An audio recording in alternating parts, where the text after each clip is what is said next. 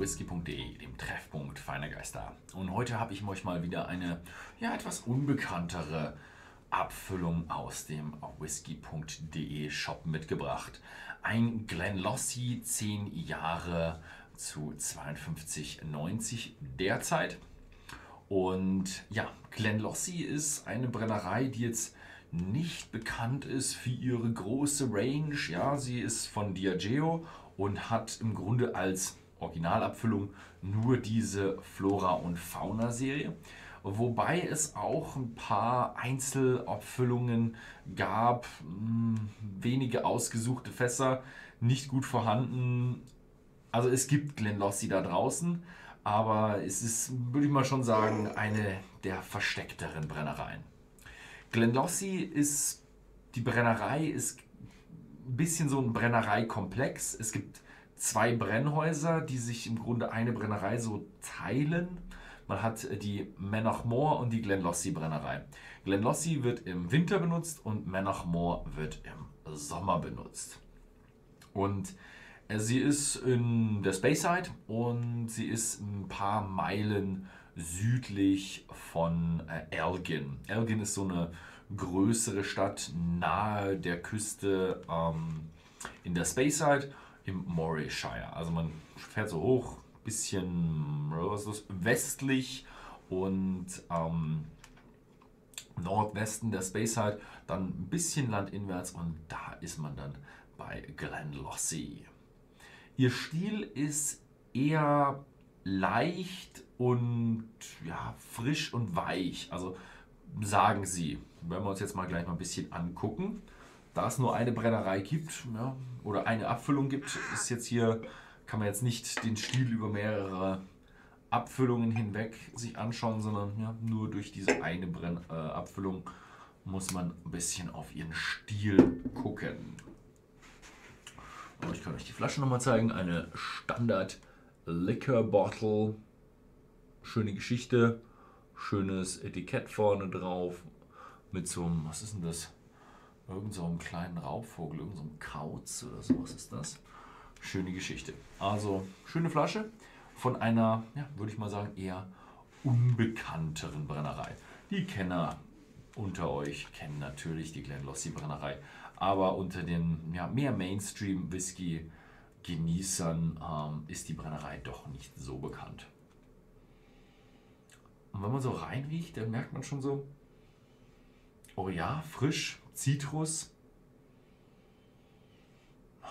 So ein bisschen so ein, so ein Gräser-Touchenband mit dabei. Relativ leicht. Bisschen süßlich. Beim ersten Mal dran riechen ist er sogar weniger süßlich. Jetzt so, wo ich mich so ein bisschen langsam dran gewöhnt habe, merkt man, oh, kommt die Süße so durch, merkt man, okay, ja, da kommt so ein leichter Bourbon-Fass-Touch durch aber er fühlt sich mehr nach Second Fill an als, als nach First Fill. Also die ganze Vanille-Karamell ist hier eher eine Nuance als eine Hauptkomponente. Mhm. Schöne Geschichte. Also von mir aus ist jetzt reine Vermutung von mir, ist das ein Second Fill Bourbon Fass oder Third Fill oder eine Mischung aus First, Second und Third Fill, wobei der Second Fill Touch oder der Second Fill Anteil sicher überwiegen wird. Also wenn First Fill dabei ist, nicht viel. Aber echt ein schönes Teil, weil einfach so schön zart, blumig, grasig, zitrusfruchtig. Ja, so ein bisschen schon wirklich in die Zitronenrichtung geht. Das Einzige, was so ein bisschen jetzt hier aus der Reihe tanzt, ist so die die Zitrone, weil sie schon so ein bisschen sauer wirkt, dass es so ganz leicht nach Weißwein riecht. Mhm.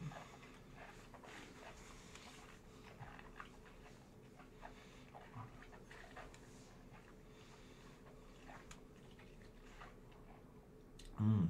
Im Mund auch ziemlich weich, auch sehr frisch, grasig, Bisschen, ja, blumig ist er diesmal nicht so sehr. Leicht süßlich. Mhm. Und ein bisschen trocken. Aber ja, ist ein echt, echt schöner, angenehm süffiger Whisky. Also keine Ecken und Kanten.